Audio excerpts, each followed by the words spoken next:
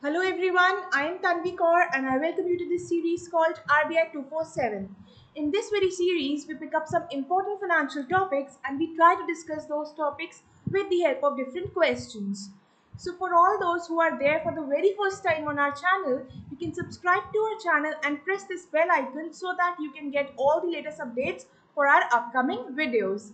You can also join our telegram group. In this very group, we share some free quizzes as well as the updates for all our latest videos. So moving on to question number one, it says the country's foreign exchange reserves crossed the 600 billion US dollar mark for the first time. Which of the following is the major contributor to this rise? So let's first discuss about forex reserves what are different contributors of this reserves and which of those contributors or which of those reserves has actually led to the rise in this very uh, uh, rise in the forex reserve to this very extent. So if I talk about India's forex reserve recently as per the latest weekly statement or the weekly uh, statistical statement which RBI released we got to know that its foreign exchange reserves have crossed the 600 billion mark. Okay, they surged to a record high of 600 point, 605 point some billion US dollars and the major contributor to this rise was the rise in the foreign currency assets. So if I talk about the, uh, the total reserves, the reserves comprise of the foreign currency assets, of gold, of SDRs and of reserve position. So out of this, you can see that this much around more than 6 billion 605 billion dollars has been our reserve as of now and the major contributor contributing more than around 90% was the foreign currency assets. The gold the share of gold sdr's reserve position was very less vis-a-vis our foreign currency assets. So let us have a look at what are these forex reserves and what different components comprises of these reserves. So if I talk about the forex reserves or the foreign exchange reserves, then they are the reserve assets which are held by any monetary authority. If I talk about India, our monetary authority is the central bank, the RBI. So it maintains certain external assets in the form of reserves. Those are known as forex reserves. Now, an example of this reserve could be gold. So RBI maintains some gold with it. Now, why is there a need to maintain the foreign exchange reserves?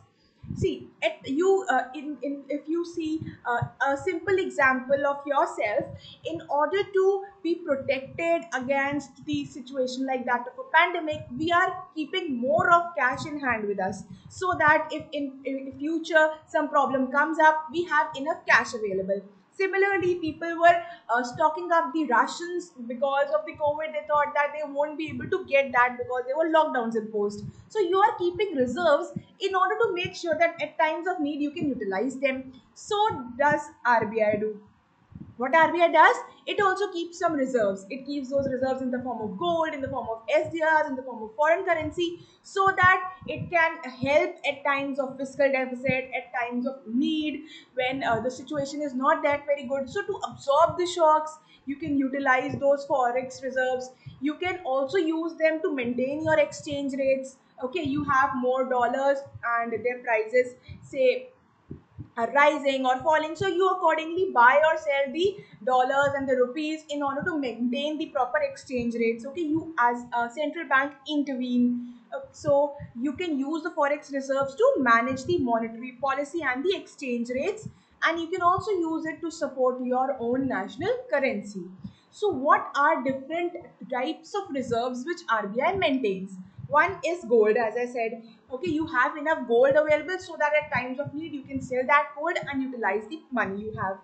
Then we have the foreign currency assets. Whatever foreign currency you are holding you are holding some dollars some euros some pounds. So all those are examples of your foreign currency assets now someone is investing in your country fdi is coming to your country fpi is coming to your country. So different capital inflows are coming to your country. You are borrowing internationally. So when the money comes in it say it comes from us then it comes in the form of dollars. It comes from other country it may it might come in the form of euros pound yen and so on so if dollars is coming okay now if they want to invest they need rupees to invest in india. So they will give dollars to rbi and rbi will in return give them the rupees. So what is this uh, because of which what is happening? Because of this rbi is building on its uh, dollar reserves or other currency reserves. So these are the foreign currency assets. Rbi can sell that dollar at the time of need in order to meet its different objectives. So they are your foreign currency assets. Then we have SDRs. Now SDR stands for Special Drawing Right. In order to register with IMF as a member nation, you need to pay certain subscription fee. Like if we want to register with some club, with some gym, we pay some subscription fee. So the countries need to pay the subscription fee to IMF. So IMF decides your quota that how much you should pay based on the uh, your economic scenario, how is the stability in your nation, what is your GDP and certain other factors. So based on that, IMF decides your quota and you need to make the payment of that. And you make that payment by buying the special drawing rights. They are not currencies, they are reserve assets which are created by IMF. You can say that it's like a artificial currency. Okay, ये एक artificial currency है and its value is determined based on the basket of goods. So अलग अलग on the basket of currencies. So अलग अलग currency जो भी important currencies हैं like we have dollar yen, pound Okay, ऐसे कुछ करेंसीज का एवरेज निकाल के based on the average of certain currencies using that basket of currencies you determine the value of S D R so you can say it's a artificial currency but it's not exactly a currency it's a reserve asset of I M F so you have to subscribe with I M IMF and you can do so by buying the SDRs. So you can make the payment of SDRs in dollars, in rupees or through SDRs itself. So that is the concept of SDRs. Now if you are buying some SDRs, IMF will give you a voting right. So you as a member country will get the voting right as a benefit. Other than that, in case of emergency, if you need loans, then IMF will grant you those loans. So how much loans can be granted to you from IMF is your reserve position with IMF. So based on certain percentage of the amount you paid to buy those SDR in the form of dollars and some SDRs is called the reserve position. The reserve assets which contributed majorly to our reserve was the foreign currency asset. That to our question, which is the major contributor? Answer is option A, foreign currency assets. Moving on to question number two. The Basel Committee on Banking Supervision has proposed new requirements for banks that want to hold cryptocurrencies such as Bitcoin. The panel proposed that 1250% risk weight be applied to a bank's exposure to Bitcoin and certain other cryptocurrencies. How much capital must be held by banks against these cryptocurrencies? So let us have a look at this very recommendation. Basel committee has not decided as of now, it has just proposed. So it's a proposal, okay. Note it that it's a proposal, not a decision as of now taken. So Basel committee, which basically provides the Basel standard, the Basel norms, it has proposed some requirements for the banks that they should maintain some capital, they should set aside some capital if they want to hold bitcoins. So if banks are dealing in bitcoins, okay, it's in that very case, in order to provide a cushion against that, they should set aside some capital we have seen under Basel norms also that banks need to keep enough capital. Okay, we there are different requirements under Basel. The capital adequacy ratio needs to be maintained. Counter-cyclical buffer is there. Capital uh, conservation buffer is there. So you need to maintain some capital so that at times of stressful situations you can utilize them. Similarly, now the banks, if they want to hold crypto cryptocurrencies, then in order to hold that they should also set aside some capital to basically uh, as a basic we can say that we need to hold some capital to provide a cushion against the volatility or against the situation where your financial stability can be hampered आपको अगर as a bank crypto currency hold करनी है तो आपको उसके against कुछ capital भी रखनी पड़ेगी सेटिसाइड करके, ताकि अगर इनकेस कोई फ्यूचर में प्रॉब्लम आए, बहुत ज़्यादा क्रिप्टो करेंसी में वॉलेटैलिटी आए, कोई इमरजेंसी टाइप की सिचुएशन आए तो आप उस कैपिटल जो आपने सेटिसाइड की है, उसको यूटिलाइज कर सको। So Basel committee has given this very proposal that a new requirement will be there for banks where they need to hold some capital so the risk weight which has been assigned for these crypto currencies is twelve fifty percent and how much capital you need to maintain as much as cryptos you are holding same amount of capital you need to maintain based on 8% minimum capital requirement. So I'll give you an example. For it, suppose you want to, you as a bank wants to hold $100 worth of Bitcoin. Okay. Then assigning a 1250% weight to it 1250% of 100 is 1250. Now against this 1250, you need to maintain 8% capital. So 8% of this amount is 100. So, this is the capital which you needs to maintain. इसका मतलब है कि जितना आप bitcoin खरीदोगे, उतना ही आपको capital maintain करके रखना पड़ेगा हंड्रेड डॉलर का खरीद रहे हो तो हंड्रेड डॉलर का बिटकॉइन कैपिटल मेंटेन करके रखो if you are holding bitcoins worth rupees two hundred dollar then same amount that is two hundred dollar worth of capital you as a bank needs to maintain now, why has Basel recommended this? Why has it proposed so? The reason is that cryptos are really very volatile. Okay, we, we have seen that they were uh, on uh, they were basically rising, they were booming cryptocurrency markets, and they were at their at, at their peak. But after Elon Musk's tweet, they fell. Then after uh, China imposed a ban, they further fell. So this shows the level of volatility with respect to these cryptocurrencies. This is one of the reason but not the only reason. The other reason is that cryptos can also be used for illegal purposes, for money laundering and other such cases. So we need some protection against that ताकि बैंकों को problem ना हो बैंकों को उसके against enough capital maintain कर रखनी चाहिए then we have there are threats with respect to our financial stability because this market is really very volatile so there can be swings in the prices and it could lead to defaults for the banks and banks are really very important institutions for our economy. So if they will suffer a default, the repercussions will be really very devastating. So we need to make sure that banks maintain some capital against cryptos. Otherwise, their finan the financial stability will be harmed and there will be increased risks for these banks. So the capital which they have to maintain as per this Basel proposal will be sufficient to absorb the full write off of the crypto asset exposures जो भी crypto asset से आप exposed हो उसकी वजह से आपको जो भी नुकसान हो सकता है उसके अगेंस्ट आप पहले ही बफर मेंटेन करके चलो ताकि बैंक्स को बाद में जाके प्रॉब्लम ना हो वो रिस्क उनकी प्रोटेक्ट हो जाए So you can write off the crypto asset exposures without exposing your depositors, the creditors of, creditors of the banks to a loss. Banks have deposits of we the people. Okay, so if banks will suffer a loss, obviously we will also suffer our deposit. There may, might be situations like that of bank run. So if banks are maintaining capital against the cryptos if due to the volatile market the value fails and the banks have to face a loss they have the capital in hand before only to compensate for that and the after effects will not ultimately reach the depositors. So because of this this Basel requirement has been specified. It's just a proposal as i told you. Nothing has been fast, uh, finalized as of now and there is no timeline also specified. It's just open for public comments and it might take years to actually come into picture okay? So this was the uh, uh, proposal. So the answer to this question is option b. A bank may be held to hold a dollar in capital for each dollar worth of bitcoin based on 8% minimum capital requirement.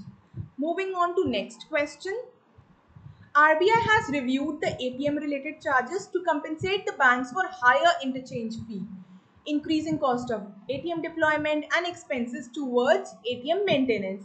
Which of the following statements correctly states these revised charges? So if I talk about this, RBI has recently reviewed the ATM related charges. So in 2019, a committee was formulated and it was under the chairmanship of I That is Indian Banks Association's chief executive. Why was this committee formulated? In order to have discussions with respect to what should be the charges, what should be the fees related to ATMs. So that very committee had made certain recommendations to RBI. RBI has not, as it is implemented those uh, those recommendations, it has made certain changes and according to uh, the needs which RBI felt, uh, whatever recommendations were important, accordingly they have taken a decision and have reviewed the ATM related charges. Be implemented soon. So if I talk about this, first of all, RBI has agreed to increase the interchange fee per transaction.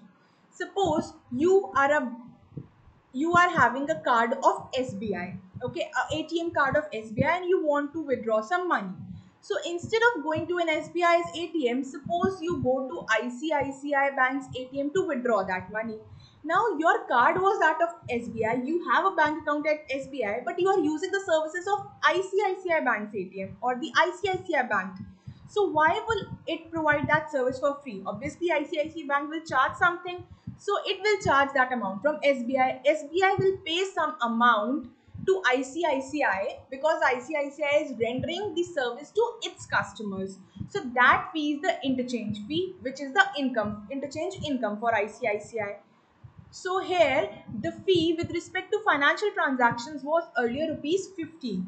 So RBI has now decided that it will be increased to rupees 17. And if I talk about non-financial transactions, then earlier it was rupees 5 and now it has been increased to rupees 6. So if I talk about financial or non-financial transactions, like if we go to an ATM to withdraw cash, that's a financial transaction.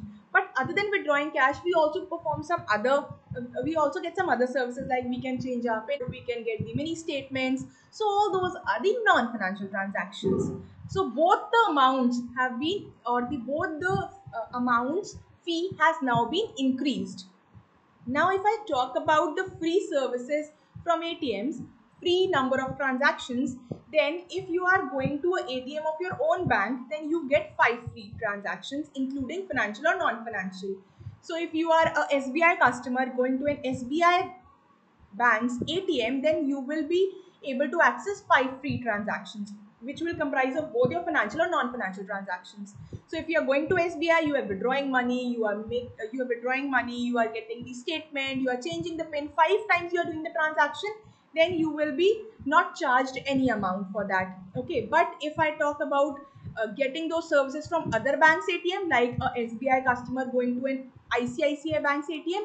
So in metro cities, in, in non-metro cities, you have five free transactions they in other banks atm as well. But in metro cities the limit is 3 so if you are say in a metro city like delhi or mumbai then if being a sbi customer you are going to icici bank's atm then there are only three free transactions allowed. After that you will be charged. Now talking about how much amount will be charged for the number of transactions we are doing after you cross this free limit the maximum cap you will be charged rupees 20 per transaction. This was the old provision. As per new provision, you will now be, you can now be charging rupees 21 per transaction from a customer. So it's up to bank. They want to eh, accept that or not. Obviously they are, they can accept because or they will accept because they will get more amount. So this is the new charge which has been applied. So we as a customer will now have to pay 21 per transaction but it has not yet been implemented it will come into effect from Jan 2022. And if I talk about this interchange fee thing, this will be effective from 1st August. So from 1st August only, a bank like SBI can charge rupees 17 for financial transactions from ICICI. Or this was just an example. It uh, applies to all other banks as well. And that from the customer, the increased fee will be charged from Jan onwards. Alright. So this is the change which has been made. Now talking about why these rates have been revised. Now the last when this rate was revised was in 2012 when, in, when I talk about the interchange fee.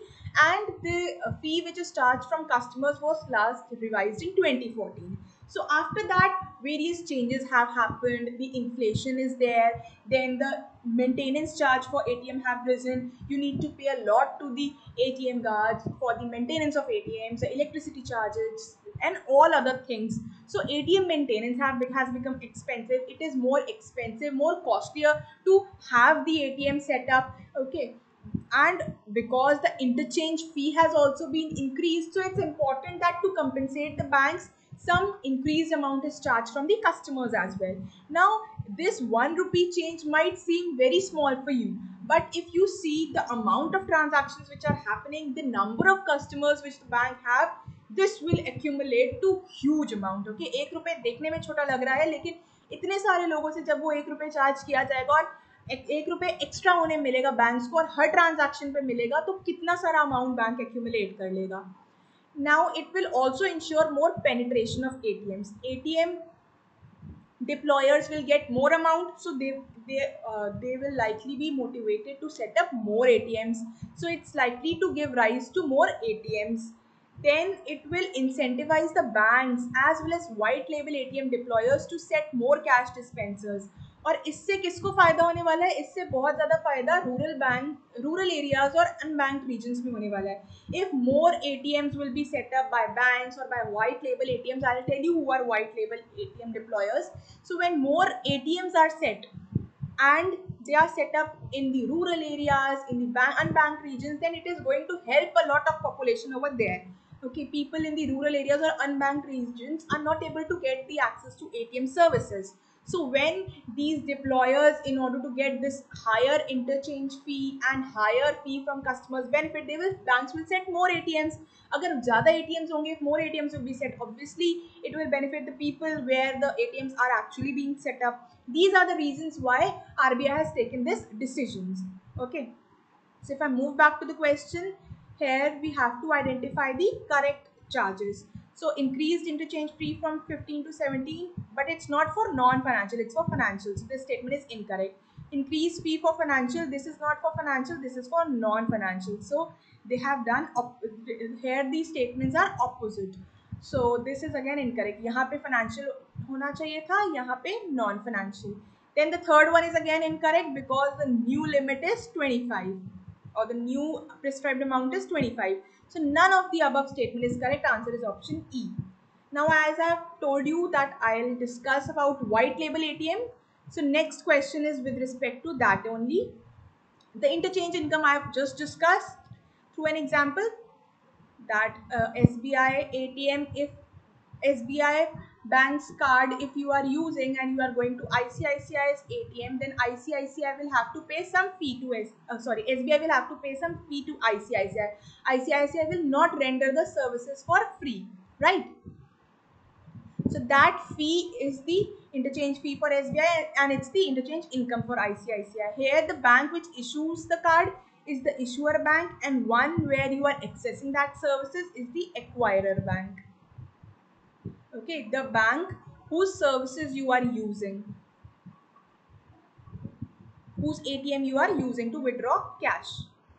All right now moving on to white label atm so the question was that atm set up owned and operated by non-banks are called dash. So the answer is white label atm so from here it's clear that the atms which are not maintained by banks but by other companies are called white label A so इन्हें bank नहीं maintain करता operate करता own करता, कोई और company इसे own करती है।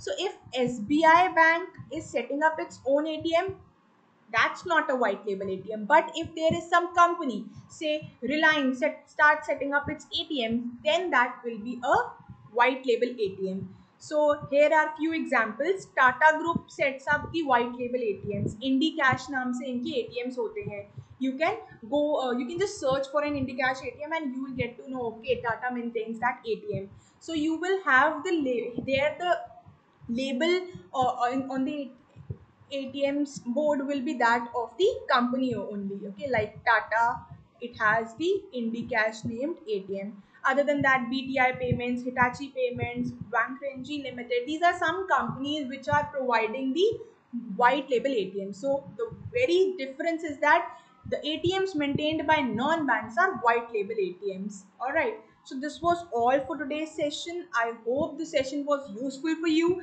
With this, I would like to end up this session. Thank you so much.